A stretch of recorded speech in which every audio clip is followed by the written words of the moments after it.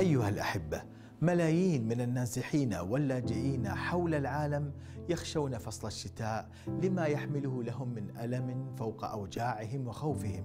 ملايين من الأطفال والأسر في أمس الحاجة ليد العون لإغاثتهم من معاناة لا نهاية لها في ظل موجات الثلوج والصقيع التي تعصف بخيامهم الهشة.